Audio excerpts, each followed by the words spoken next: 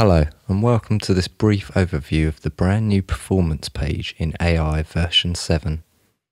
Version 6 users will notice some substantial changes to the layout of this page. So, what's different? Firstly, the bank system has changed now, allowing for the user to be able to name individual banks instead of having to remember which bank your media was stored in. This is great when working with a band's songs or when you need quick access to your media clips.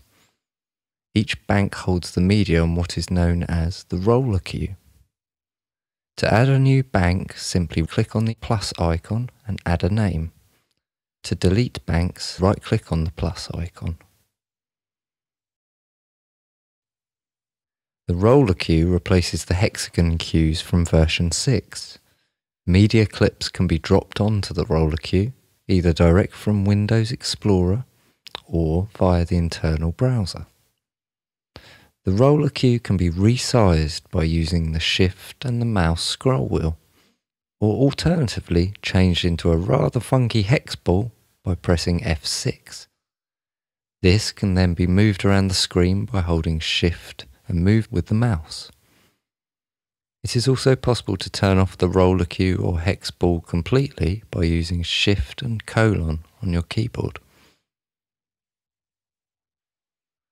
The layers in AI have been improved with the introduction of the new multi-layer widget.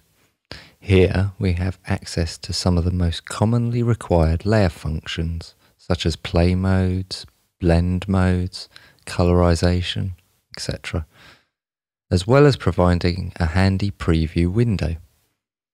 It is worth noting that layers are now modular, meaning that you can keep adding layers up to the limitations of your hardware.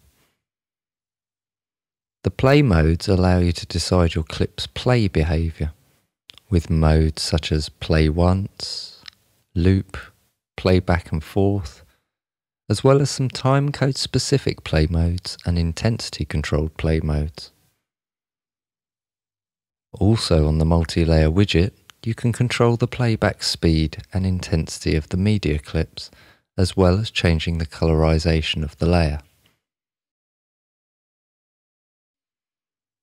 Blend modes can also be changed per layer, offering commonly used blends like alpha, additive, difference, luma, etc. We also have access to two effects units per layer, Click Effects with the left mouse button for FX Unit 1 and hold Shift and click with the left mouse button for FX2. There is also information on the multi-layer widget that tells us how long the clip is, where in the clip you currently are, as well as how many frames per second the clip is. For more help and tutorials, please visit our website www avolitesmedia.com.